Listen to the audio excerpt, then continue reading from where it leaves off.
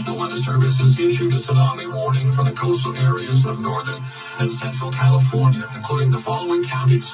Sonoma, Marin, Napa, San Francisco, San Mateo, Contra Costa, Alameda, and Santa Clara.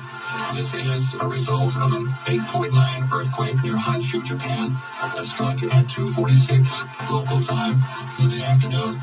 In Japan, the tsunami wave is generated, it is expected to arrive in San Francisco at the mouth of San Francisco Bay at 8.08 a.m. this morning. The tsunami warning means the tsunami is imminent and that coastal locations in the warned area should prepare for flooding. The National Weather Service is updating conditions hourly or as conditions warrant. This concludes the activation of the emergency alert system.